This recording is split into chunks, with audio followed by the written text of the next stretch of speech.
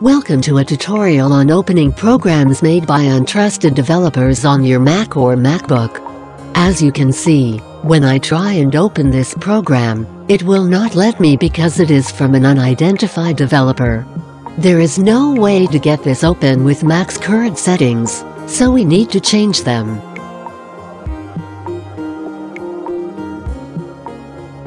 Go to your system preferences. You can get there by clicking the Apple logo and choosing System Preferences. In the System Preferences, click on Security and Privacy. Now tap the lock and enter your password in order to make changes.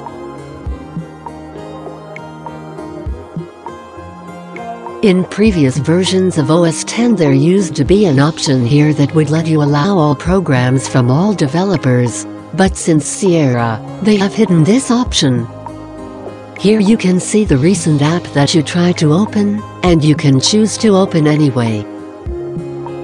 If you would like to get the setting to permanently allow third-party programs, here is what you do. Please don't do this if you are not comfortable with using the Mac terminal. Click on the Go tab and then choose Utilities. In the Utilities folder, open up Terminal.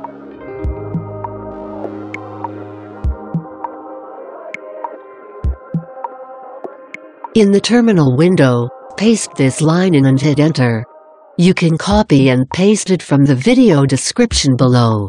You will now need to enter your password and hit enter.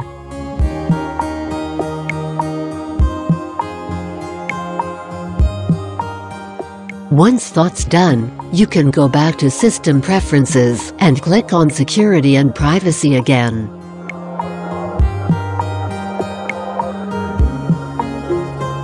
Now you can see that the option to download apps from anywhere is visible and selected.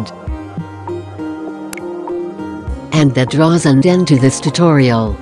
Please like the video if you found it helpful, and subscribe to our channel for more MacBook tips and tricks.